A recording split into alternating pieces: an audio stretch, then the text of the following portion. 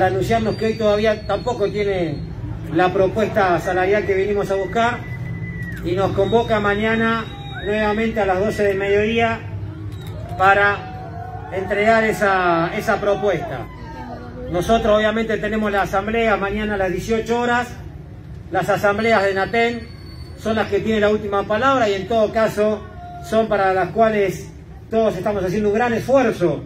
de lograr la mejor propuesta y además de que sean asambleas multitudinarias.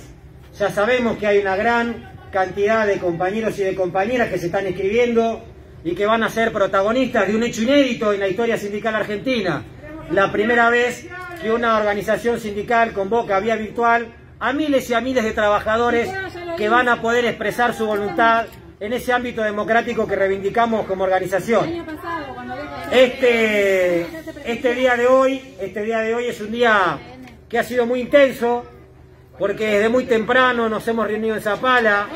y Aten hoy tiene un nuevo vocal en el Consejo Provincial de Educación, producto de una lucha de más de dos años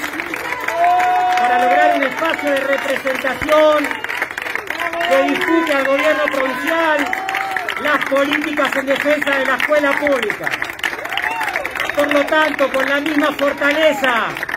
que construimos todos los días esta, herramienta de lucha, mañana vendremos una vez más y las asambleas democráticamente, colectivamente y soberanamente van a definir si hay inicio o no hay inicio en Neuquén a partir de la propuesta que el gobierno presente mañana y que serán puestas a consideración